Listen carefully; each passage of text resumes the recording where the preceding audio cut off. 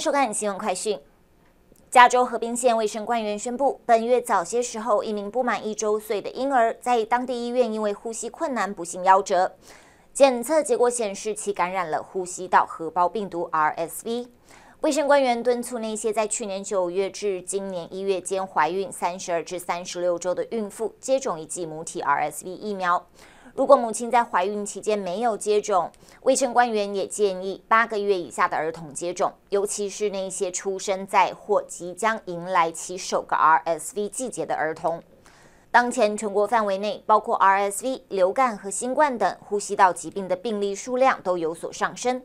和平县卫生部门也建议，所有六个月及以上年龄的人群都应该接种流感疫苗。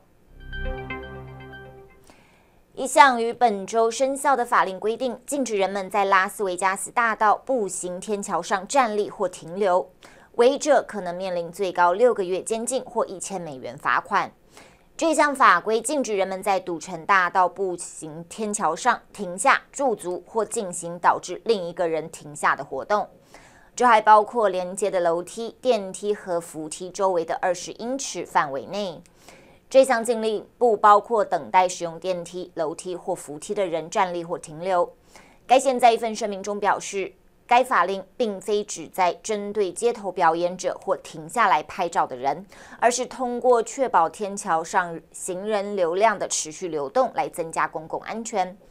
反对者表示，该禁令违反了有第一修正案保护的权利。内华达州美国公民自由联盟表示，这可能侵犯到了一些如街头表演艺人的权利。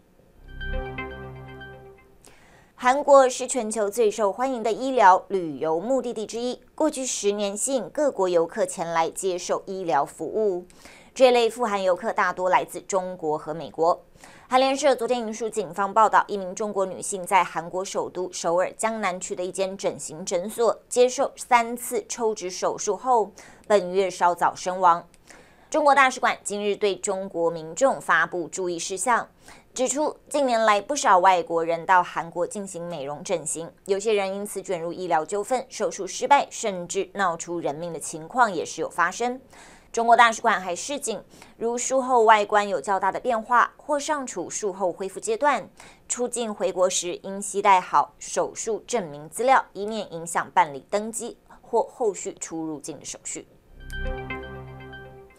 一批因为司法诉讼而公开的 Meta 公司内部文件显示，该公司估计每天有十万名儿童使用 Facebook 或 Instagram 时收到性骚扰讯息。新墨西哥州检察总长托雷斯曾指，Meta 成为成年人狩猎儿童的市场。其办公室上月五日就此事向 Meta 提出诉讼，令 Meta 公开内部文件。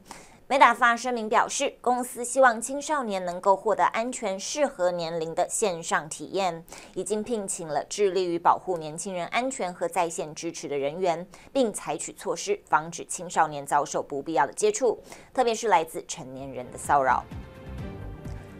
更多详细的报道，请继续收看即将播出的华语电视晚间新闻。